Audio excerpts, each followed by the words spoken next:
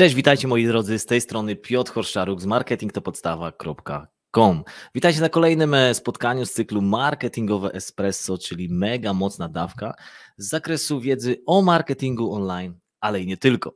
Dzisiaj porozmawiamy sobie na bardzo ważny e, temat, e, temat pomijany, temat czasami bagatelizowany, ale temat bardzo ważny. Hejt w biznesie online. Jak sobie radzić z takim hejtem? Jak rozpoznać taką konstruktywną krytykę od e, hejtu, który nas niszczy, nie tylko nas, ale i nasze biznesy. Na to dzisiejsze spotkanie przygotowałem oczywiście specjalną prezentację, do której już niedługo przyjdziemy. podstawowy błąd, jaki popełniamy, jeżeli chodzi o hejt, jest, obec, jest hejt jest, e, w internecie jest obecnie, e, obecny praktycznie wszędzie. Najgorsze jest to, że wiele osób pragnie go przemilczeć. To błąd. Hejt należy identyfikować, odróżniać od konstruktywnej krytyki i eliminować.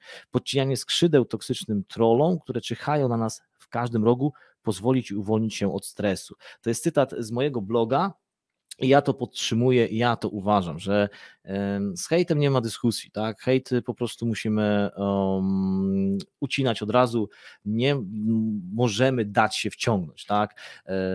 To jest, to jest taka, moim zdaniem, pierwszy podstawowy błąd, który popełniamy. Oczywiście na bieżąco, jeżeli uważasz inaczej. Jeżeli chcecie wziąć udział w dyskusji, możecie e, w komentarzu wrzucać czy pytania, czy swoje doświadczenia. Bardzo to jest e, nie tylko, że ja mówię, wysłuchacie, to jest interakcja. Kto jest z nami tutaj od początku na marketingowym espresso, to wie, że bez Was nie byłoby mnie i odwrotnie, i dlatego tutaj w tym, na tym właśnie miejscu, w tych w, tym, w komentarzach na tym czacie możemy wymieniać swoje E, swoje uwagi. Dobra, lecimy dalej. E, co to jest hejt tak naprawdę? Hejt to bez, e, bezinteresowna nienawiść. Bezinteresowna nienawiść to jest bardzo ważne, zobaczcie. Czyli sytuacja, kiedy ktoś bezpodstawnie krytykuje, a na dodatek robi to w bardzo nieprzyjemny emocjonalny, a nawet wulgarny sposób. Niestety zjawisko to coraz częściej dotyczy internetu, no bo w realu wiadomo, działa na nas, no, działają na nas hamulce społeczne, czasami się wstydzimy, czasami nie, nie jesteśmy w stanie wyrazić tego. Ukryci za klawiaturą, e, za, no za klawiaturą też, za, za monitorem, jesteśmy bardziej odważni, niektóre osoby po prostu czują się bezkarne, myślą, że e, nie, nie mogą być zidentyfikowane, tak? nie mają e, tej swojej tożsamości i wtedy wylewają wszelkiego rodzaju właśnie ten hejt, nienawiść na inne osoby. Um, dlaczego ludzie hejtują? Um, zobaczcie, tu bez, y, tutaj sobie zrobimy, nie bezpodstawnie do tego właśnie momentu załączyłem zdjęcie tej dziewczyny, chyba wszyscy ją znają, prawda? Chyba nie ma jeszcze e, osoby już, który by tej pani nie znał tutaj, jeżeli chodzi o działalność w internecie. Ja uważam, że jest to, zanim jeszcze przejdę do tego tematu, najbardziej w Polsce, dajcie znać, czy się, czy się mylę, hejtowana osoba w tym momencie. Naprawdę um, to, to jest moja oczywiście jakaś tam opinia, jakiś mój pogląd, ale uważam, że niesłusznie po pierwsze, a po drugie jest to najczęściej hejtowana osoba e, w tym momencie w Polsce, tak, w internecie. Jeżeli macie inne zdanie, chętnie poznam na, na czacie. Lęk przed wyjściem ze strefy komfortu, o tym mówi się często, tak? Tutaj podałem taki przykład. Chcąc działać, musisz to zrobić. Nie ma dwóch zdań, tak? Wyjście ze strefy komfortu, czy chcemy prowadzić swój biznes, czy chcemy wyjść, cokolwiek innego zrobić, zaczynamy od siebie, od wyjścia z tej strefy komfortu. Eee, chcąc działać, nie ma opcji, musisz to zrobić. Jednak to niesie ze sobą dwa scenariusze. Tak jak właśnie z dobrym i złym policjantem. No i dobry, dobry, i, i dobre rozwiązanie, dobry policjant jest to wyjście ze strefy komfortu, pozwalać się rozwijać i realizować marzenia. Z swojego punktu widzenia jest to dobrze, tak? Pokonujesz siebie, codziennie walczysz, żeby na przykład napisać posta, tak? Nie wszyscy, albo żeby zrobić live'a, albo żeby zrobić, nie wiem, stories. No naprawdę, nie wszyscy mają od razu, urodzili się, że mm, wychodzą ze swoim życiem prywatnym, znaczy nie muszą z życiem prywatnym, ze swoim biznesem, z tym, co robią publicznie, tak? No to jest wyjście do, publicznie, bo to nie jest może offline, to nie jest w realu, ale jest to wyjście publiczne. Nie każdy z nas, a większość z nas ma z tym jakieś opory, walczy, tak, żeby tego posta wrzucić, zastanawiamy się kilka razy w ciągu dnia, wrzucić, nie wrzucić, opublikować, nie opublikować. Publikujemy i wtedy właśnie, jeżeli spotkamy się z tą taką niekonstruktywną krytyką, bo oczywiście możemy popełnić błąd, a z takim hejtem, wtedy naprawdę można nastąpić blokada. I teraz właśnie to złu, y, ten zła wersja, tak? Jednak z punktu widzenia innych osób, które nie radzą sobie z wychodzeniem z tej strefy, hejt to swego rodzaju terapia. Najprościej mówiąc, ktoś, kto nie potrafi podejmować decyzji, czuje dyskomfort. Patrząc na osoby, które to robią, sytuacja staje się jeszcze bardziej napięta, gdy się tym osobom powodzi. Jaki jest tego efekt? Tak zwany ból dupy, czyli tak zwany hejt. I to jest e, bez dwóch zdań, to jest ja następnym jeszcze pokażę e, slajdzie. Hejt to jest krzyk, tak? To jest e, coś, co po prostu innych ludzi bardzo boli, tak? Nie potrafią na przykład wziąć się w garść, e, nie potrafią, nie wiem, wstać godziny wcześniej, e, opublikować tego posta, zrobić jakieś sobie organizacje, zrobić sobie jakieś struktury.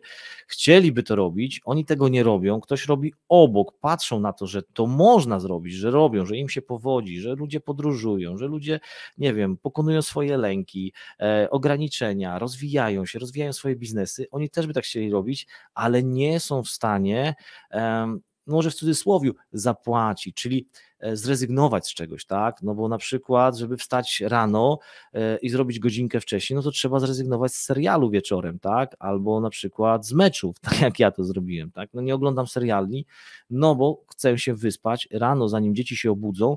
Ja na przykład godzinkę poćwiczę albo godzinkę poświęcę dla swojego biznesu, tak, że napiszę na przykład post albo napiszę maila do klienta, e, ale trzeba godzinkę wstać, tak, jeżeli dziś wstają o siódmej, no to ja muszę wstać o piątej, na przykład. To są te takie koszty, które chcemy ponieść. No i z jednej strony ludzie by chcieli mieć te efekty, którzy mają inni dookoła, ale z drugiej strony nie są w stanie e, zapłacić, tak, w cudzysłowie, tych kosztów. I wtedy, jeżeli ta sytuacja się pojawia, bardzo reagują wtedy nerwowo i no, w sposób chamski hejtują. Dajcie znać, czy się zgadzacie z tym, co teraz mówię, czy to do Was e, w ogóle trafia e, i czy w ogóle zgadzacie się z tym, że właśnie Ania Lewandowska jest jedną z najczęściej e, właśnie osób spotykaną, którą dotyka ten hejt e, i moim zdaniem niesłusznie, tutaj moglibyśmy na ten temat jeszcze długo, długo, długo rozmawiać, ale, mm, ale jest to bardzo, bardzo niesprawiedliwe. Dobra. Przejdziemy sobie dalej. Teraz hejt to krzyk. Przewinę tak, nie zrobiłem sobie następnego slajdu. Tak jak wspomniałem wcześniej, hejt to krzyk a dokładnie wołanie i chęć zwrócenia na siebie uwagi. Jednak najgorsze jest to, że mamy pomimo braku tendencji do bezpodstawnego hejtu na taki krzyk, również nim odpowiadamy. Zachodzi wtedy reakcja gniew na gniew. Tak? Dlatego mówiłem na początku, że z hejtem nie dyskutujemy. Później na końcu pokażę, w jaki sposób konkretnie reagować. Tak? Na Facebooku, e, na Google w jaki sposób będziemy mogli pokazać na swoim e, e, profilu, w jaki sposób, nie wiem czy wszyscy wiedzą, możemy kogoś zablokować, możemy zgłosić ten hejt, no oczywiście już nie mówię o usunięciu, tak, co na Facebooku jest to um, w teorii łatwe, e, w praktyce jest troszkę trudniejsze. Powiem Wam też o swoim przykładzie ostatnio właśnie takiego hejtu. Um, Tutaj jeszcze mamy właśnie Facebook user, to jest osoba, która komentuje, ten live idzie na moją, na grupę, tak, na grupę i na fanpage i tutaj jeżeli ktoś na grupie nie potwierdzi, nie kliknie, tam w komentarzach jest taka e, informacja, e, nie zgodzi się na udostępnienie swoich danych, no to wtedy będzie właśnie nie jako imię i nazwisko, a jako Facebook user. Ludzie niektórzy są za bardzo leniwi. Zgadza się, tak? E, też tak uważam. Mm, następnym razem chyba na grupę to już wrzucę, bo zobaczcie, mamy fajne komentarze, tylko nie widzę, kto komentuje to jest zazdrość. Piotrze, o czym mówisz i uważam, że masz rację. E, dziękuję. Tak, to jest zazdrość, ale może być też zazdrość i my powinniśmy moim zdaniem być zazdrośni, ale ja to nazywam taka sportowa zazdrość, czyli taka sportowa rywalizacja, że jeżeli komuś coś wychodzi, komuś się udaje, to czy ja też potrafię, tak? To mnie mobilizuje do działania. Wtedy ta zazdrość ma pozytywny efekt, jeżeli w biznesie, tak, no dajcie znać, czy, czy, czy, czy macie to samo, bo ja odczucie mam to samo, porównywania się do innych, tak, porównujemy się do innych i widzimy, że ktoś ma efekty, e, że ktoś coś zrobił i to porównywanie, jeżeli ono jest, e, coś mnie nos swędzi, to już chyba na ten hejt, i to porównywanie jest, e, jeżeli ono jest taki właśnie w zdrowym kontekście, że mogę się porównać, ok, ja jestem, mój biznes prowadzę rok, e, ten ktoś prowadzi 5 lat, jest w tym momencie super, mam 4 lata, fajnie, ustawię sobie tak cele, ustawię sobie tak drogę, że za 5 lat będę w tym samym miejscu. Ale z drugiej strony, jeżeli to porównywanie będzie takie, że już bym chciał być w tym miejscu, co ta osoba za 5 lat, a jestem, y, prawda, po roku, no to tu będzie już troszeczkę e, to niesprawiedliwe to porównanie i będzie dla nas krzywdzące, bo będzie nas dołować. Eee, uważam, że najlepiej nie reagować, zablokować i nie wdawać się w dyskusję. Tak.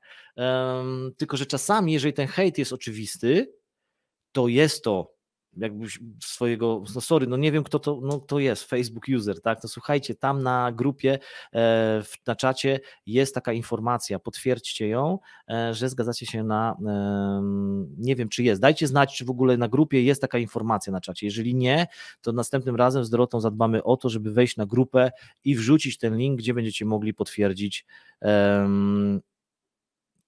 Aha, widzisz, Dominika napisała, ok, czyli jest. E, już to kiedyś zrobiłam, jest już dawno na tych live'ach. Tak, Dominika jesteś z nami praktycznie od początku. Zrobiłam przed chwilą jeszcze raz. Ok, czyli działa, tak? Słuchajcie, dobra. Super, Dorota też tutaj napisała. Um, dobra, jest w opisie. Ekstra, ekstra, dzięki Dorota. Um, hejt jest dobry, motywuje i uczy. To jest bardzo ciekawe, co powiedziałeś, Robert. Hejt jest dobry, motywuje i uczy. Słuchajcie, Dajcie znać, czy zgadzacie się z wypowiedzią e, e, Roberta. Ja się z tą wypowiedzią zgadzam i Wam to udowodnię na przykładzie za chwilę, dlaczego się z tą, może kontrowersyjne jest to, prawda, co w tej chwili mówię i co Robert powiedział, ale za chwilę Wam powiem o co chodzi. Rozwinę ten temat. Dzięki Robert za ten komentarz. Tak, e, i tutaj jest jeszcze pytanie, czy to była pani Kardashian? Nie wiem, jakie nazwisko się e, pisze. nie wiem, czy to Andrzej Żart, czy um, nie wiem o co chodzi. Nie znam pani Kardashian, to była Ania Lewandowska. E, nie wiem, czy to jest jakiś nowy przydomek już wymyślony po raz któryś, bo już różne historie na temat pani Ani Lewandowskiej słyszałem. Ostatnio byłem w Polsce u znajomych, którzy powiedzieli, że e, sprzedaje batoniki z robakami, e, bo ktoś znalazł na stacji benzynowej batoniki z robakami. Także jak już jakaś nowa historia na temat pani Ani Lewandowskiej, może, że jest facetem albo cokolwiek się pojawi, to już mnie nie zdziwi. Iwona, Piotrze, ludzie zawsze nam zazdroszczą sukcesów. Ja również zgadzam się z Robertem. Pozdrawiam. Fajnie, Iwona, dzięki i, i zaraz rozwiniemy ten temat. Zazdroszczą, zgadza się, ale tak jak mówiłem, może być ta zazdrość taka i porównywanie się do innych na zdrowym takim e, poziomie, takim motywującym nas sportowym, a może to być destruktywne właśnie, który będzie ten hejt, bo hejt, słuchajcie, hejt nie tylko niszczy drugą osobę, to musimy o tym powiedzieć, tylko hejt niszczy też przede wszystkim osobę, którą tą, która hejtuje to idzie w dwie strony. To nie jest tak, że hejtujący, który hejtuje, niszczy drugą osobę, a sam siebie nie niszczy. To działa w dwie strony. Miecz jest, y, jak to się mówi, obusieczny, tak? Dobra, e, super, rozkończyła się e, właśnie to jest hejt dynamiczny. O, słuchajcie, hejt dynamiczny, fajnie Agnieszka, mogłabyś, e, co uważasz hejt dynamiczny? Właśnie to jest hejt dynamiczny, czyli że to działa w dwie strony, czy w jaki sposób to się odniosłeś do tego? Bardzo, bardzo bym był Ci wdzięczny, jakbyś rozwinęła to. Um, mogę się zgodzić z Robertem, że ktoś ma wystarczającą pewność siebie. Jeżeli tej pewności siebie nie ma, to niestety hejt tylko sytuację pogorszy. Okej, okay, zgadzam się, Dominika, i za chwilę przejdziemy do, do przykładu. Um, jak reagować na hejt, tak? Um, i teraz zobaczcie, nie każda krytyka jest hejtem. Ważne jest rozpoznanie przekazu. Odpuść na 24 godziny i daj sobie czas na przemyślenia. To bardzo proste. Zasada ta działa nie tylko w sieci, możesz odnieść ją również do życia offline. Wszystko zależy od intencji. Pamiętaj zawsze, samemu stajesz, y, stajesz przed decyzją. Czy chcesz komuś pomóc rozwiązać jego problem, czy chcesz podbić swoje ego, kogoś krytykując. I to jest działa w dwie strony. 24 godziny, to jest zasada 24, ja ją chyba wprowadzę. Ja wprowadziłem ją w odpisywaniu na maile i na wszelkiego rodzaju wiadomości. Jeżeli ktoś mi napisał wiadomość, która mnie doprowadziła do białej gorączki, e, para mi z uszu zaczęła lecieć, Pierwsze co jest, i dajcie, i dajcie znać, czy macie to samo, to jest od razu na klawiaturę i chcemy odpisywać. I to jest najgorsze, co może być. Zróbmy świadomie 20, zasadę 24. Odpuszczamy na 24 godziny i wtedy po 24 godzinach wracamy. Czy to będzie komentarz pod naszym postem, czy to będzie mail, czy to będzie wiadomość na Messengerze. bo wiadomo, że w pierwszym momencie górę biorą emocje. I jeżeli tak samo ktoś na przykład, słuchajcie, wczoraj była um, tak, napisałem. Staram się nie komentować na niektóre sprawy, na niektóre rzeczy, na, prawda, na aktualnościach. Aktualności na komputerze mam włączone, ale na telefonie. Jeżeli coś zobaczę, co mnie naprawdę wnerwia, od razu jest pierwsza e, rzecz skomentować, tak? Ale z drugiej strony zastanawiam się, odpuść 24 godziny i później sobie zadaję pytanie, czy to jest mi potrzebne, czy to coś wniesie do mojego życia albo życia mojej rodziny, czy to coś zmieni w moim życiu, czy doda mi jakąś wartość do mojego biznesu. Jeżeli sobie odpowiem, albo najlepiej odpowiedzieć sobie też na trzy pytania Sokratesa i przez sito takie trzy pytania, to czy to jest właśnie prawda, czy to mi e, w czymś pomoże i czy to jest dla mnie ważne. Takie trzy pytania. Jeżeli odpowiemy sobie na te trzy pytania nie, albo przeważnie na dwa z tych trzech nie, to nie ma sensu to nie ma sensu komentować, nie ma sensu wdawać się w dyskusję, bo to będzie kosztować nas tylko energii. My napiszemy, ktoś odpisze, ktoś nas jeszcze zdenerwuje, jeszcze bardziej ktoś odpisze, my będziemy na ten komentarz musieli odpo odpowiadać i zanim koncentr zamiast koncentrować się na ważnych sprawach, będziemy się wdawać w durną dyskusję. 24, zasada 24, ja stosuję, bardzo mi to pomaga i jestem osobą dosyć taką impulsywną, energiczną, też wyrażam swoje emocje, zawsze staram się mówić i zawsze mi zarzucano to Piotr, mówiono w szkole najpierw pomyśl, później powiedz, ja miałem z tym trudności, zawsze mówiłem, później myślałem, e, stąd miałem wiele problemów, e, nie tylko w szkole, ale i poza nią. No i do tej pory jeszcze nie, nie, nie wszyscy to, to akceptują, ale po prostu taki jestem. Staram się nad tym pracować, ale taki mam charakter. Um, I ta zasada 24 w moim przypadku się sprawdza. Polecam Wam y, z całego serca, to działa. Um, I tu zobaczcie, następny temat mam coś takiego, zionie ci z paszczy. I za chwilę, zanim przejdę do tego tematu, zionie ci z paszczy i powiem o co chodzi, spojrzę na czat. Um, gdzie, ten mój, gdzie ta moja myszka jest? Lubię tekst piosenki Dawida Podsiadło. Matylda, tekst piosenki idealnie dopasowany do dzisiejszego tematu. Fajnie, Masia, posłuchamy. E, nie będę teraz puszczał, ale, ale dzięki. Agnieszka, czyli zwrócenie uwagi w sposób drastyczny. Aha, to jest ten, ten hej dynamiczny. Dzięki Agnieszka.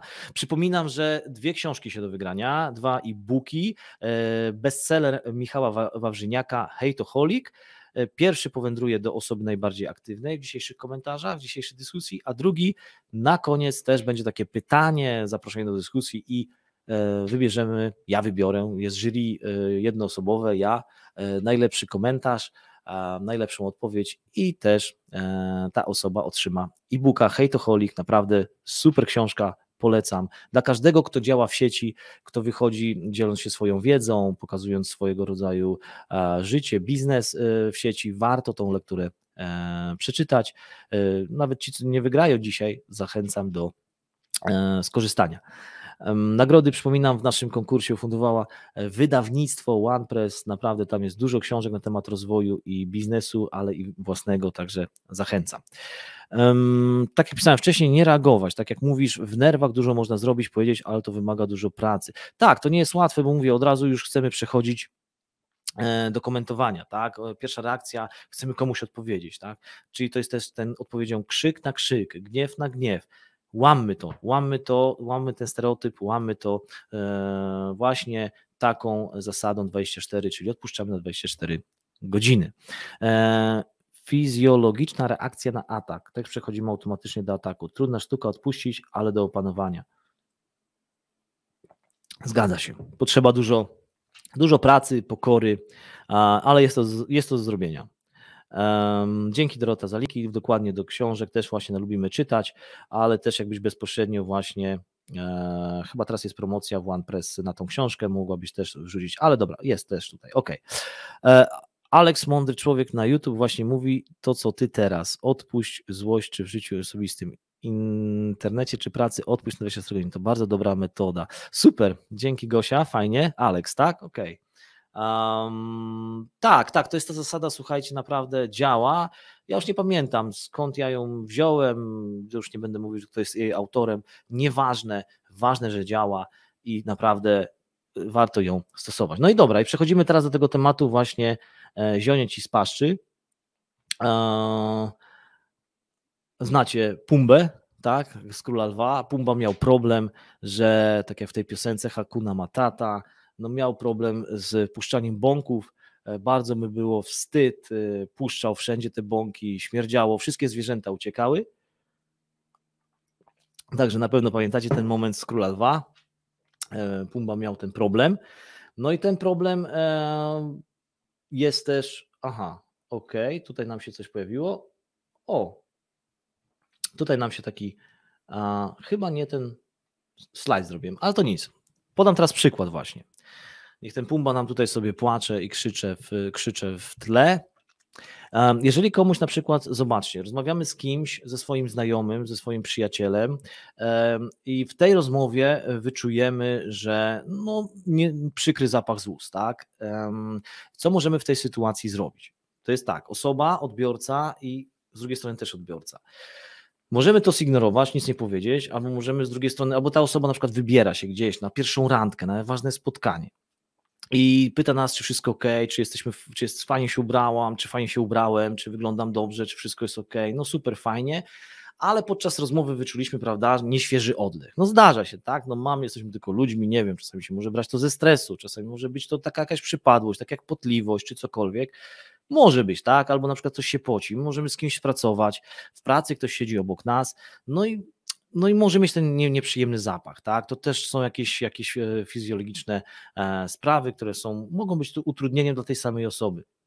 I możemy w sposób nawet delikatny, słuchajcie, powiedzieć: e, Słuchaj, super wyglądasz, bardzo Cię lubię, fajnie pracujesz, naprawdę fajnie mi się z Tobą pracuje, fajnie mi się z Tobą gada, ale wiesz co, słuchaj, wyczułem troszeczkę może właśnie ten taki nieprzyjemny zapach, wiesz co, fajne są takie dezodoranty, mój, nie wiem, mąż, znajomy miał jakiś problem, wiesz, spróbuj może tego, może to by Ci pomogło, można jakoś porozmawiać taki z intencją dobrego serca, tak? Tak samo właśnie, jeżeli chodzi o ten zapach z ust, czy może właśnie e, jakieś, nie wiem, pastylki, gumy do rzucia i można to w ten sposób powiedzieć.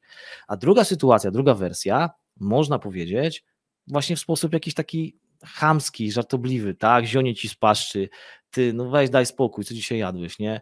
albo no nie wiem, e, weź idź, weź prysznic, no, coś takiego, tak, bo, bo, bo śmierdzisz. I w ten sposób można naprawdę komuś zrobić e, no, przykrość, tak, i ktoś może się poczuć niefajnie. I to są te dwa przykłady reakcji. I teraz przechodzimy na drugą stronę, osoby, które tą, ten feedback, tą krytykę, właśnie co Robert spojrzał, dostały, ten hejt, tak, na przykład jeżeli ktoś powiedział, ale ci zionie z możemy się obrazić, to jest pierwsze, oczywiście. Możemy to zignorować, to jest drugie. Ale z drugiej strony możemy właśnie opanować emocje. Jeżeli ktoś nam powiedział to w sposób nieprzyjemny, dotknęło nas, ale z drugiej strony jest to dla nas informacja. Jeżeli my wyciągniemy, kurczę, on mi tak powiedział, sprawdzę to, zapytam się kogoś, czy rzeczywiście tak jest czy rzeczywiście to jest tylko, e, on to powiedział w żartach, powiedział tylko, żeby zrobić mi przykrość, czy tam w tym przesłaniu, w tym komunikacie jest coś, co może sprawić, że ja się stanę lepszy, że, że się rozwinę, albo że to jest tylko przykład, prawda, tego, tego nieprzyjemnego oddechu, czy, czy zapachu. I w te, z tej komunikacji, z tego, z tego takiego na pierwszy rzut oka hejtu, my możemy oczywiście z tą osobą, która tak zrobiła, która zrobiła przykrość, tak samo jak będzie jakiś komentarz, usuwamy, usuwamy ten komentarz, nie dyskutujemy, ale dla samego siebie wyciągamy z tego wniosek. Patrzymy, czy w tej informacji nie jest ukryta dla nas informacja zwrotna, jakaś rada, jakaś podpowiedź nad rzeczą, którą powinniśmy e, popracować. Tak? Ja na przykład e, zawiesiłem sobie teraz karteczkę taką obok kamery, wyeliminować cielapanie. Bo jeżeli nagrywam, jeżeli prowadzę live'a, może nie, ale jeżeli nagrywam jakieś informacje, to mam a jeżeli jest mikrofon e, już taki właśnie studyjny, to on wyłapuje każde drobne klapnięcie. No i zauważyłem to i ktoś mi kiedyś powiedział, też jakiś chyba taki żartobliwy sposób. Zastanowiłem się, przejrzę to nagranie, przejrzałem to nagranie no i zauważyłem rzeczywiście. A mogę powiedzieć, co on się czepia, tak? Robię tak, co robię, tak prowadzę live'a, to jest moja sprawa, spadaj. Oczywiście może być taka reakcja, ale od nas zależy, jak my tą informację zwrotną przyjmiemy. Ok, ciekawy jestem. E, e, nie odpowiadać, myśleć, analizować i wyciągać wnioski. Nic dodać, nic ująć. Pięknie e, to, to, to, to ująłeś, Robert. Wcześniej też byłam osobą bardziej wybuchową, ale tak jak pisałem po długich latach, nauczyłam się lepiej panować nad tym, co robią i mówią. Super, Agnieszka, gratuluję. Mamy w zapasie tiktaki i oferujemy w grzeczny sposób. No tak, tak, dokładnie. To też jest, e, to też jest jakieś rozwiązanie. To nie jest najdelikatniejszy, najdelikatniejszy uważam, sposób, drastyczne zwrócenie uwagi w perfidny sposób i urazić tym kogoś. Dokładnie. Z przyjacielem gadamy prosto i zwięźle. Walić z ryja, umyj zęby. tak, Robert, e, zgadza się, tylko to nie jest kwestia czasami umycia zębów. Możemy mówić, wiadomo z kim, tak? Możemy mówić, wiadomo, możemy być na, tak, na takiej stopie przyjaźni i że między sobą nie mamy żadnych. I wiemy, że jeżeli to powiemy, to ta osoba e, nie, nie dotknie tej osoby, tak? To jest też bardzo, bardzo ważne. Uważam też, że dzieci dużo nas uczą. Okej, okay, a, a dlaczego? Dlaczego Agnieszka? Uważa, że dzieci nas e, e, dużo uczą.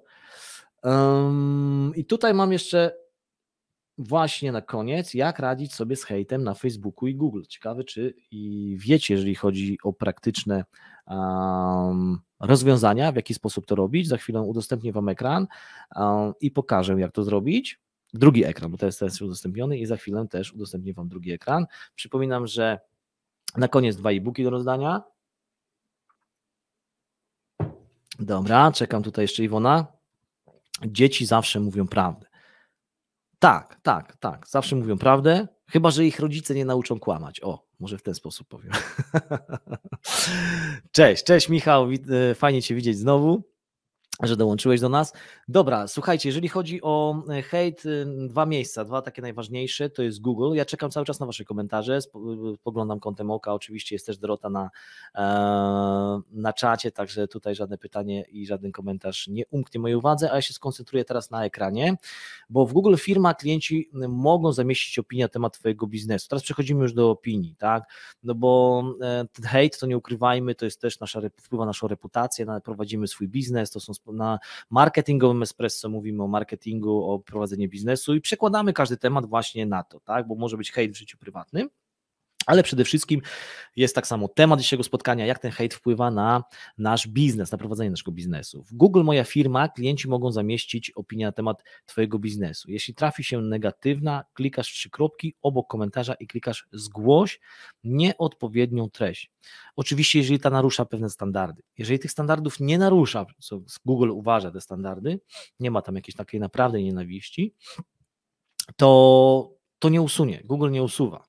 Google nie usuwa e, e, komentarzy, jeżeli będziemy prowadzić swoją firmę, e, tak jak ja kiedyś mój klient, dla którego obsługiwałem marketing, tak, zrobiliśmy stronę internetową, no oczywiście um, Google, tak, informacje, Google firma, no i tam opinie, no i po kilku tam kilkunastu, bo wtedy było, że on, to był mój klient, który prowadził warsztat, jest mój klient, który prowadzi warsztat samochodowy i E, w tamtym momencie rozstawał się chyba z, z drugą osobą, razem wspólnie prowadzili, e, no ale coś było tam nie na rzeczy, rozeszli się, no i tamta druga osoba też otworzyła warsztat samochodowy, no i zaczęły się negatywne opinie na Google.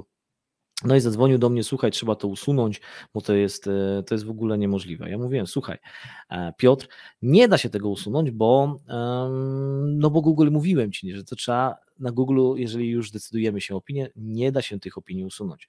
Wtedy poradziłem mu, słuchaj, nie przejmuj się tymi złymi opiniami, bo te się zdarzą, tak? Będzie zawsze ktoś się trafi, konkurencja nieuczciwa, są nawet firmy i agencje, słuchajcie, marketingowe, które oferują e, na początku mają swoich ludzi, którzy krytykują, dają krytyczne opinie, a oni oferują, później wysyłają ofertę do tej firmy i piszą, że mogą e, wpłynąć na właśnie wizerunek, na reputację takimi i takimi działaniami, no i później oni usuwają te komentarze, piszą dobre i jest wszystko załatwione, tak, czyli no to jest takie naprawdę bardzo, bardzo chamskie e, zachowanie, ale jest, jest i trzeba na to uważać. Dlatego pamiętajmy o tym. No i wtedy Piotr skupił się na tym, żeby e, prosić każdego zadowolonego klienta, bo naprawdę ma sprowadzić swój warsztat, jest dobrym fachowcem. No I pojawiło się już, te, teraz ma chyba ponad 100 już opinii na, na Google, czyli te kilkanaście, chyba tam kilka czy kilkanaście negatywnych w ogóle, jak to się mówi, utonęło w tych dobrych opiniach, no i tam chyba 4,5 gwiazdki ma na Google, tak naprawdę e, cieszy się dobrym powodzeniem. Także skupiajmy się na tych dobrych opiniach, skupiajmy się na tych dobrych komentarzach, pokazujmy je, a, a te złe oczywiście, jeżeli można, usuwajmy, a jeżeli nie, to nie można. W Google, Google Firma też można się skontaktować. Ja Wam tutaj e, wrzucę jeszcze link, jakbyście mieli problem. E, czekajcie, ja sobie tutaj otworzę. Nie wiem, czy otworzę, czy będę mógł kliknąć. Sobie skopiuję ten link. W Google Firma w ogóle można nawet, nie wiem, czy Wam będzie e, potrzebne, ale Wam wrzucę ten link. To jest link, on się zmienia co jakiś czas, ale ten link bo y, informacje kontaktowe Google co jakiś czas zmienia, ale klikając ten link zawsze będziecie mieć dostęp, chyba, y, ja jeszcze go nie sprawdzałem, a właśnie, zobaczcie, nie możemy chyba wrzucić tego, tego linku, czy coś się stało. Dobra, to chyba na grupę nie może pójść, no ale to nic. Dobra, um, czyli to jest jeżeli chodzi o Google'a. Jeżeli chodzi o Facebook, to udostępnię Wam teraz e, ekran. A, zaraz Wam pokażę jeszcze notatkę, ale to zanim pokażę Wam tą notatkę, udostępnię Wam ekran. Jesteśmy tutaj na moim prywatnym profilu. Zamknę tutaj wiadomości, żeby nie było wiadomo e, kto, co, gdzie, jak, z kim jest. Tak, tu są same e, twarze. Ważne jest, jeżeli gdziekolwiek wchodzimy na czyjś profil, ja nie wiem, czy to będzie, będę ja mógł zrobić. Nie, przejdę sobie na przykład na marketingowe espresso, tak? Na marketingowe espresso. Marketing to podstawa, przepraszam. Marketing to podstawa, czyli na fanpage'a. I ważne jest, nie wiem, dajcie znać, czy wiedzieliście o tym, jak na, e, to jest strona, jak na Facebooku blokować, tak? Możemy blokować, klikając tutaj w trzy kropki, mi się to oczywiście nie pojawi to, ale klikając trzy kropki możemy zablokować każdego, możemy zgłosić do Facebooka nadużycie. E, tutaj klikając trzy kropki e, musiałbym przejść na jakiś e, fanpage, dajcie znać może gdzie, żebym to pokazał. Jest wiele tutaj komentarzy i każdy komentarz możemy klikając tutaj w trzy kropki możemy to oznaczyć, tylko że ja no, nie mogę teraz wejść na kogoś i mi się tu nie pojawi, bo ja jestem na swoim, czyli ja siebie nie mogę zablokować.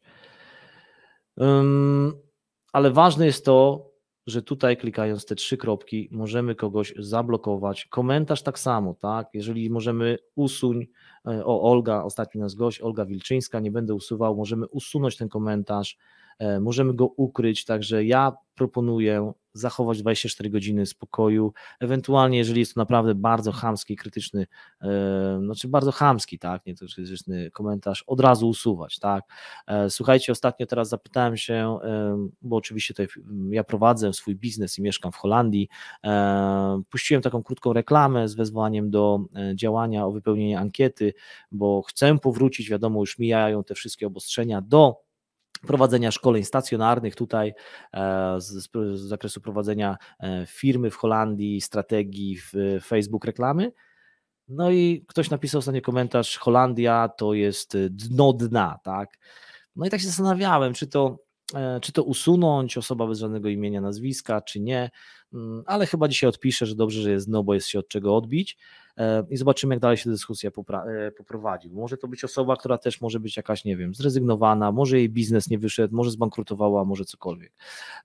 Także ważne jest, żeby tutaj w te trzy kropki pamiętajmy, e, zawsze możemy zgłosić do Facebooka takie działania, a zobaczymy, może się Olga, Olga nie obrazi, Olga była ostatnio naszym gościem razem z Michałem Wilczyńskim, także było naprawdę super spotkanie. Zobaczcie, jestem u Olgi. Jeżeli tutaj krzyknę w trzy kropki, e, uzyskaj pomoc lub zgłoś post, to sam post. Możemy zgłosić nagość, przemoc, prześladowanie, tam samobójstwo, no to jest naprawdę terroryzm, ale możemy też, klikając tutaj, zablokuj, tak? Czyli jeżeli zablokujemy. Tylko chciałbym taką jedną radę, jeżeli prowadzicie fanpage'a i jest osoba, która naprawdę jest na, bardzo nachalna, chamska, chcecie ją zablokować, to najpierw zablokujcie ją, tutaj Wam pokażę, w fanpage'u, a dopiero później na profilu prywatnym, żeby nie mogło Was oznaczać. Jeżeli przejdziemy tutaj na e, ustawienia, e, jeżeli jesteście na fanpage'u i macie swoje ustawienia, to będziemy tutaj użytkownicy i inne strony. I osoby, które lubią tę stronę, i osoby, mogą być zablokowane w Messengerze, osoby zabloko os zablokowane osoby i strony.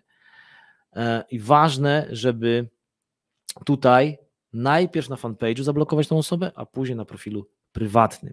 To jest też e, taka ważna informacja, wtedy e, no, ta osoba nie będzie miała już dostępu do waszych, tych treści, które wy publikujecie. To jest też ważne, ważne, żeby o tym wiedzieć, prowadząc swój biznes, nie patyczkować się z takimi właśnie hejterami chamskimi, e, tylko ich od razu blokować i nie wdawać się w dyskusję. To wszystko na dziś. Dziękuję Tobie serdecznie za Twoje zaangażowanie i za Twój poświęcony czas. Jeżeli ten materiał podobał się Tobie, to koniecznie zasubskrybuj mój kanał, abyś już nigdy w przyszłości nie przegapił właśnie takich wartościowych materiałów z zakresu wiedzy o marketingu online i na temat, jak prowadzić biznes w internecie. Ja tylko dodam, że ten materiał został opracowany na podstawie transmisji na żywo, które e, prowadzę w każdą środę o 9.30 rano na swoim e, fanpage'u na Facebooku marketing to podstawa. Oczywiście z całego serca zapraszam Ciebie, abyś był z nami, była z nami na żywo podczas tych spotkań, ale jeżeli z jakiegokolwiek powodu e, nie możesz, to tutaj na moim kanale YouTube w każdej chwili możesz sobie sięgać e, po te nagrania. Ja życzę Tobie jeszcze wspaniałego i owocnego dnia. My, my widzimy się tradycyjnie za tydzień. Wszystkiego dobrego. Pozdrawiam. Cześć.